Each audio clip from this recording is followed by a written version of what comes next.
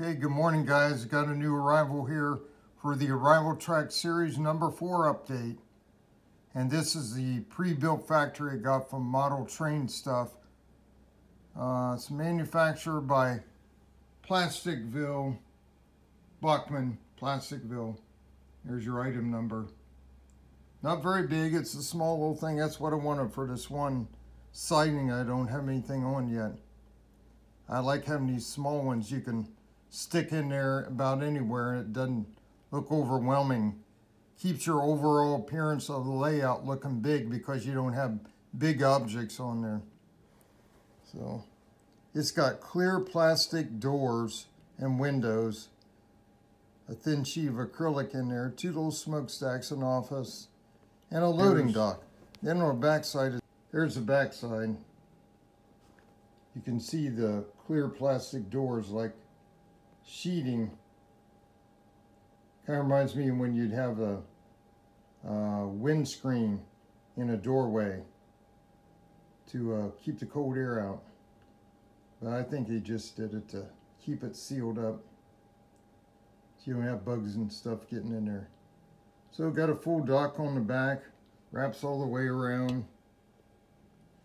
Got a big door there on that end too, and then the office So that'll look pretty good on my siding back there.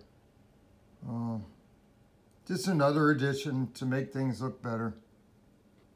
No more businesses, uh, industry to serve with the trains, with the locals. And let's see, I've got a uh, another car coming, a micro train line MTL hopper with graffiti on it. I found that I ordered. That'll be coming in. And that's about it for now. I lost two bids on eBay for some center beam cars. I don't want to push the price any higher, so I'm just going to hold off and do some more looking. So that's the, yeah, just a plain wall there. That's, uh, that's the update for today. We'll make it a short one here. We survived the snowstorm, only got two and a half inches with five inch drifts, but the temperature was minus eight this morning at 7.35 and the wind chill was minus 15. Right now we're at seven degrees and one wind chill. Big improvement, sunny blue skies out there. Tomorrow it's gonna warm up to 35 uh, and I'll be out plowing some more and 46 on Wednesday with sunshine so I can finish up all the plowing, get some melting done. But in the meantime, today we're staying inside. I've been monitoring, listening to the Broadcastify feed out of Northern Ohio for CSX, Norfolk Southern, and uh, Wheeling and Lake Erie railroads are having all kinds of trouble all weekend. You can imagine with the weather.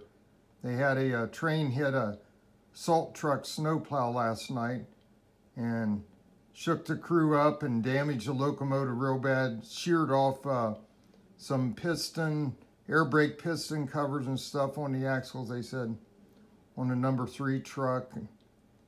Uh, so tore that locomotive up. They got broken rails at the west end, northwest end, the Wheeling Lake Erie line over by Spencer. And a bunch of switches messed up that don't want to go. Said it's a mess. So those poor guys aren't having fun today out there in that cold working. I'm going to stay here in the warm house in the warm recliner and piddle around doing things.